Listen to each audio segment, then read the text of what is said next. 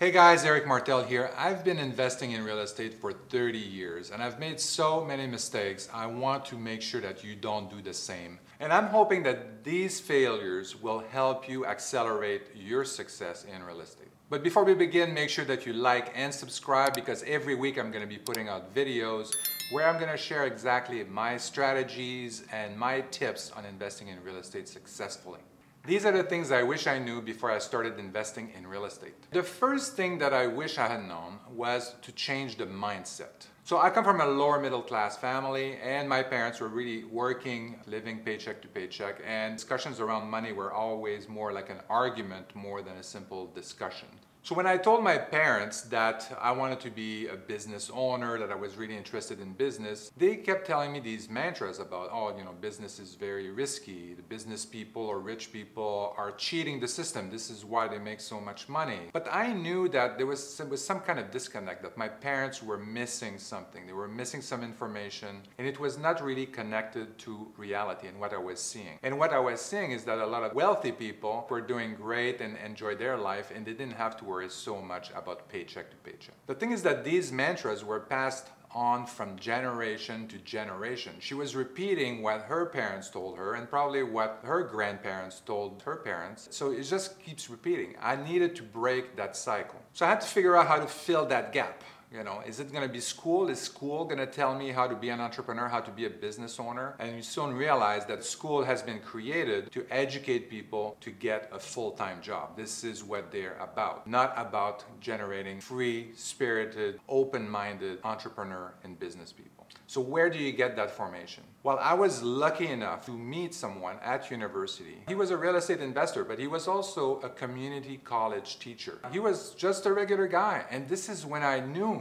it was possible to bridge that gap. It was possible to be successful. You didn't need to be an expert. You didn't need to have an advanced degree. He basically explained exactly how do we find an opportunity. That was the first thing. And I told Greg, I said, I don't have any money.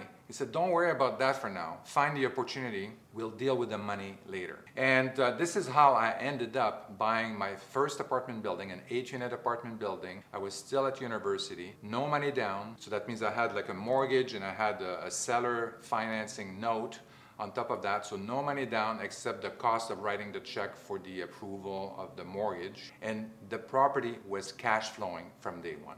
So the mindset that you need and the mindset that I had to change was that it is possible. You are able to achieve these goals. You don't need to have some special skills in order to achieve these goals. And that all the people that are telling you that this is not possible, they're either scared of doing it themselves or they're just ignorant. They just don't know what skills they need. They don't know how to get there. So if I knew then what I know now, I would have forgot about getting that job as an associate actuary. I would have focused on real estate investing and I would have figured a way out.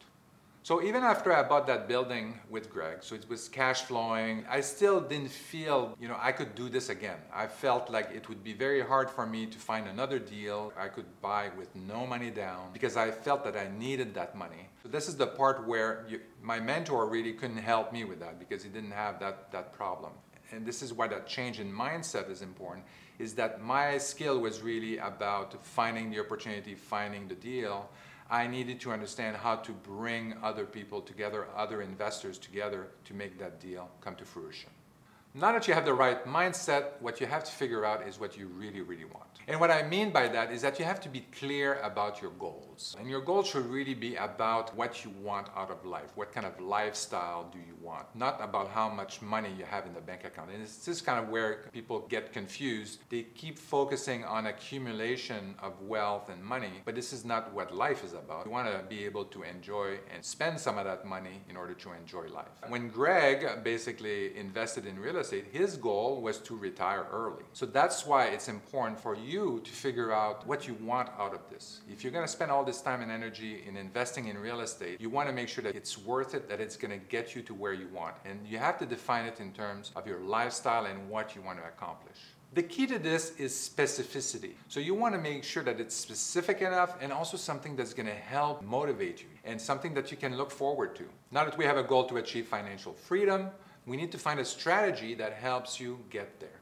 There's so many different ways to make money in real estate. It's mind-boggling.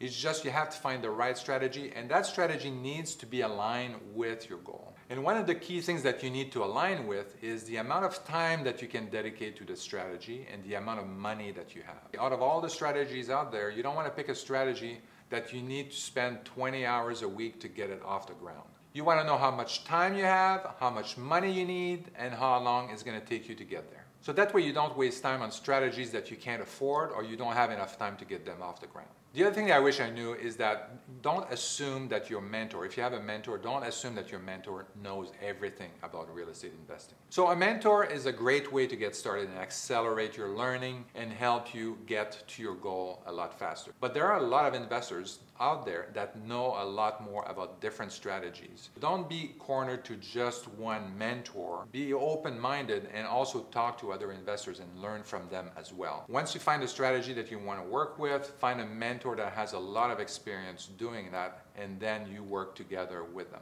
My mentor, uh, when I bought that eight unit apartment building, never used a property management company. So when I bought that building, it was cash flowing, but there was no property management company, so I was the property manager. And I'm not a good property manager, I can tell you that. So this was a gap in learning. He's done these deals often, but he never had a property management company in place. So if I knew then what I know now, I would have put, for example, a property management company in place for my building, but I didn't know enough at the time. So so don't think your mentor as someone that is going to give you all the answers, is going to do all the work for you and all of that. You have to be in the driver's seat. Think of your mentor not as a god, but more as a coach. Someone that is watching you play the game and is telling you how to tweak your game to get there a lot faster or to work a lot better. So you don't have to invest in your backyard. You have to think like an investor. If you live in Alaska, you want to do an ice cream business, yes, you can make money selling ice cream in Alaska. But don't you think that it'd be easier to sell ice cream in Florida? This is what I'm talking about here, is that if you have a strategy, you have to find the right market for that strategy. And what I mean by thinking like an investor is that you have to kind of like remove some of the emotions. Uh, a lot of people are going to say, well, I want to be in my backyard. I want to see my investment in my building. I want to be able to drive by it. Don't think like that. You have to think about what are the numbers telling me? Where is my investment getting the best return, including appreciation and all of that? And this is the market that you should be investing in.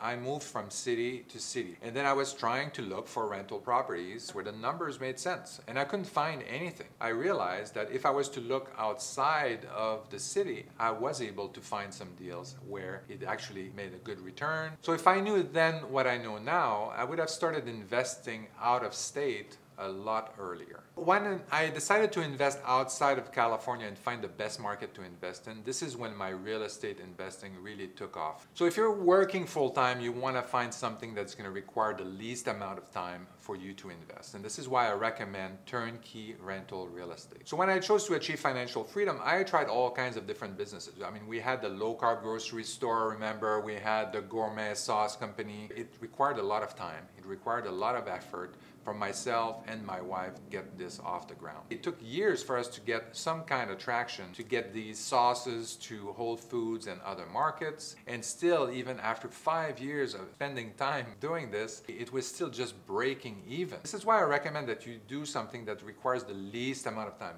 Continue to work full time and really focus on that, but have a turnkey rental property, something that you can just invest very quickly, get some passive income, and achieve financial freedom as quickly as you can. This is kind of like the step one of financial freedom. After that, there's a whole bunch of new opportunities that are going to open up for you. Before you follow your passion or alongside of your passion, start building a passive income portfolio. Start building that, generating that passive income so that eventually you have enough passive income to be financially free and then you can truly follow your passion full time. Follow your passion after you achieve financial freedom.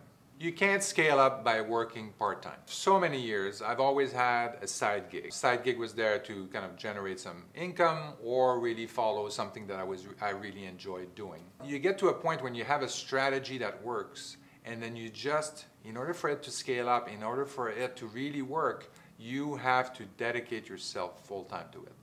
But you have to wait until you, have, you find that strategy that works and then you jump right in. So don't wait for the market to be right. I mean, we're always in an interesting situation. Uh, is the market going to go down? Is the market, are we in a bubble and all of that? Don't try to time the market. You just, you just can't. You just keep buying bit by bit, build that passive income portfolio every year, a little bit at a time, and eventually you're going to get there. Yes, some of the houses you're going to buy maybe at the top of the market, but some of them you're also going to buy low in the market. So in the end, if you have a long-term strategy, it's all going to even out. Just make sure the deal cash flows and jump right in. If I knew then what I know now, I would have started buying real estate rentals a lot earlier, a little bit at a time, every year, even through 2008 and 2010, and I would have achieved financial freedom a lot earlier.